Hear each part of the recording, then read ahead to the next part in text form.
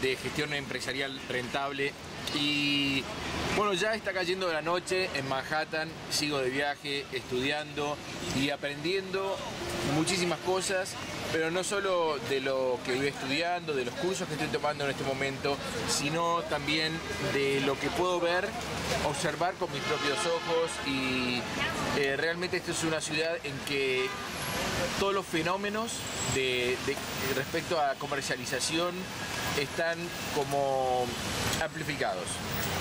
Y lo que te voy a comentar eh, son dos estrategias que veo muy claramente en muchos negocios.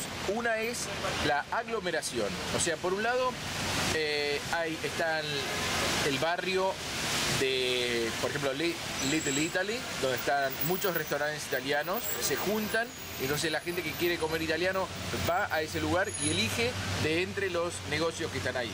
Por otro lado, está el negocio, por ejemplo, los negocios de flores o los negocios de venta de electrónicos o de perfumes o, eh, bueno, Chinatown, ya sabemos, eh, hay también eh, lugares donde, por ejemplo, están negocios que venden camperas o que venden zapatos, en fin, ya debes haber entendido el concepto. Y bueno, esta es la aglomeración que es una estrategia muy buena.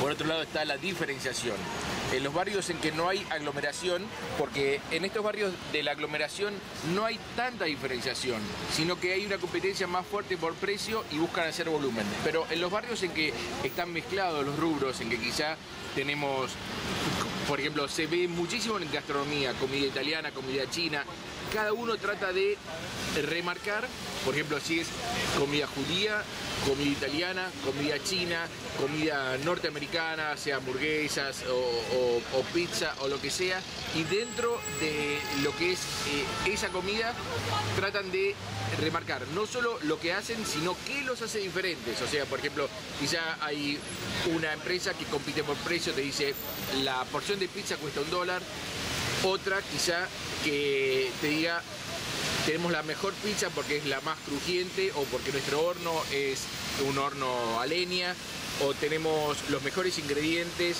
o la pizza más dorada o lo que sea para ejemplificar con el tema de la pizza. Entonces, dos conceptos, la aglomeración por un lado para buscar volumen y tratar de captar la clientela que va a un lugar sin un destino eh, específico. Por otro lado, la diferenciación en los sectores, en las zonas en que no hay una aglomeración, sino que quizá eh, son negocios de varios rubros.